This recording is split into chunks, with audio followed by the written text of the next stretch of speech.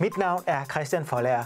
Jeg har været på DK4's nye serie Europas fremtid, dit EU. Og det er en serie, hvor vi gerne vil høre, hvad du har at sige. Hvis du vil deltage i debatten om europæiske værdier, rettigheder og retsstatsprincipper, så skriv til DK4. Send dine idéer, spørgsmål og kommentarer til os. Vi tager nogle af dem med i programmerne og sender dem alle videre til EU.